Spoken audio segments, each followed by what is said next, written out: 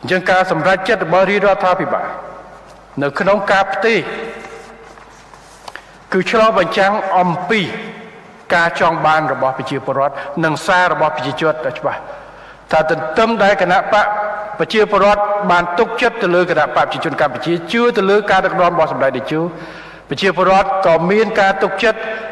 នៅលើផែនការ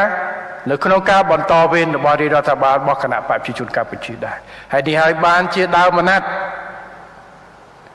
ត្រូវបានផ្ទេរតែម្ដងបាទនិយាយរួមរឿងនេះខ្ញុំក៏ចង់ភ្ញាក់ដែរផែនការច្រើនណាស់ត្រូវបានលុបនៅពេលដែលគណៈបកចេញផែនការមកដែលត្រូវពជាពេលដែលខ្ញុំថានិយាយផែនការសម័យខ្ញុំលុបអស់ហើយមួយឆ្នាំពីរឆ្នាំពុន កិច្ចការជាច្រើន ដែលយើងគិតរពឹងផែនការនៃការគិតគូររបស់ថ្នាក់ដឹកនាំរបស់គណៈបកប្រជាជនកម្ពុជាដើម្បីអីការលះបង់របស់ថ្នាក់ដឹកនាំសម្ដេចតេជោលោកតែងតែថាលោកតែងតែមានប្រសាសន៍វាជាការលះបង់មួយធំជាទូទៅមេដឹកនាំនយោបាយមួយលះបង់នៅពេលដែលខ្លួនធ្លាក់ឆ្នោតឬមួយក៏ប្រជាប្រិយភាពទាបបំផុត ដើម្បី refresh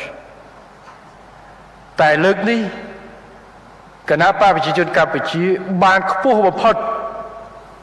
ប៉ុន្តែហេតុអីបានជាមេដឹកនាំរបស់គណៈបកប្រជាជនកម្ពុជាត្រូវផ្ទេរទៅចំនួន2ដើម្បីដឹកនាំជាជាងនៅបន្តដឹកនាំធ្វើដើម្បីធានានៅនិរន្តរភាពធានានៅលំនឹងស្ថិរភាព ដើម្បីប្រទេសជាតិមានការវិវត្តទៅមុខ និយាយឲ្យរួម គឺដើម្បីការអភិវឌ្ឍបន្តទៅមុខរបស់ប្រទេសជាតិតែម្ដងនេះគឺជាធម្មតា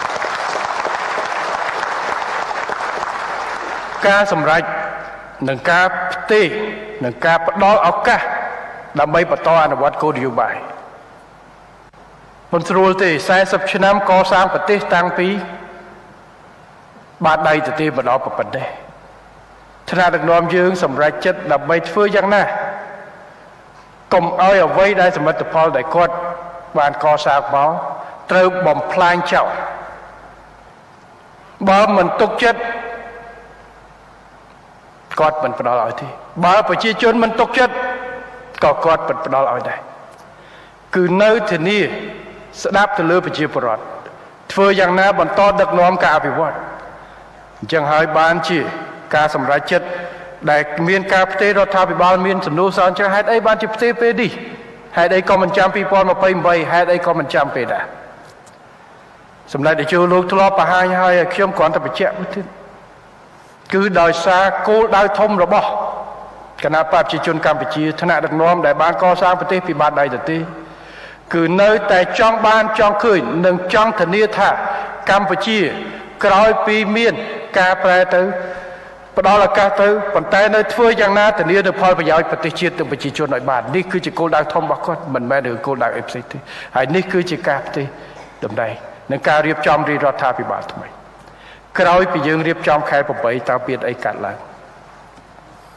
មានប្រជាជនយើងច្រើនណាស់ខ្ញុំជឿថាបងប្អូននៅក្រៅប្រទេសក៏នៅអត់មើលដែរធ្លាប់តែដឹកនាំដោយអេគីបសម្ដេចតេជោដឹកនាំមក ធានានិរន្តរភាពសន្តិភាពស្ថិរភាពអ្នកវិនិយោគជាច្រើនក៏នៅបន្តរងចាំមើលថាតើអេគីបថ្មីនេះចេញទៅយ៉ាងណាតើគោលនយោបាយយ៉ាងណាសមត្ថភាពគ្រប់គ្រងស្ថានភាពស្ថិរភាពយ៉ាងណាតើ3 4 5ខែពីខែ8រហូតដល់ខែ12នេះប្រទេសយើងទៅជាអញេញ៉ៃយ៉ាងម៉េចទេ យើងអាចនិយាយបានដោយមោទនភាពថា នៅក្នុងចិត្ត5ខែនេះប្រទេសយើងមិនមានអីប្រែប្រួលក្រៅពីការវិវត្តធានានៅសន្តិភាពស្ថិរភាពលំនឹងនិងគោលនយោបាយនៃការវិវត្តជាបន្តបន្ទាប់នេះដែលយើងអាចនិយាយបានទៅថាបែបនេះ